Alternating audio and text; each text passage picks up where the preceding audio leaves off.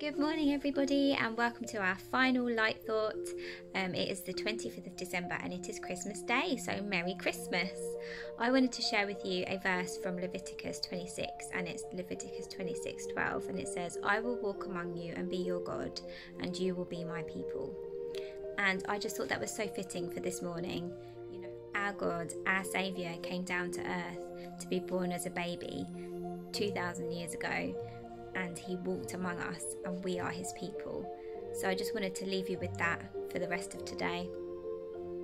God is with you, he is among you, he is among us.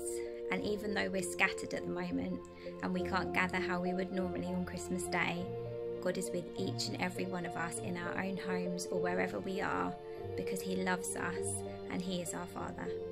Have a great day, Merry Christmas, and see you soon.